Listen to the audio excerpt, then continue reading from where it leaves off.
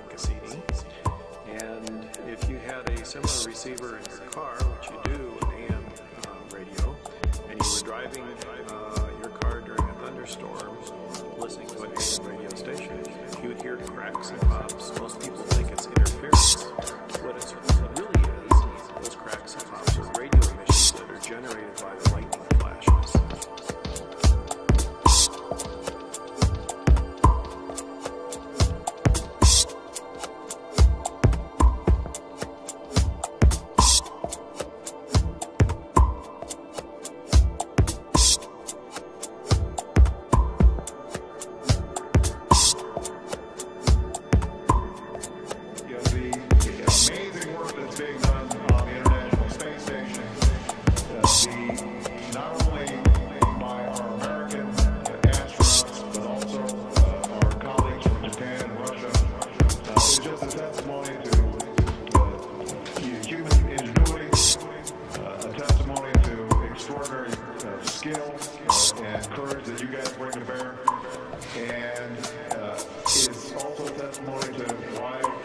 continued space exploration is so important, and, and is part of the reason why uh, my commitment to NASA uh, is unwavering.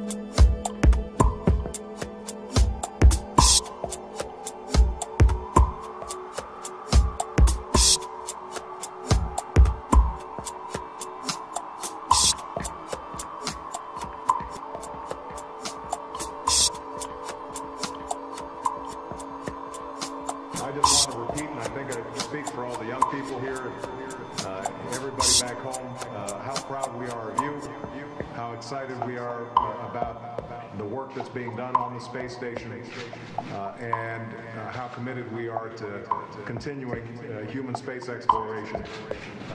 In the future.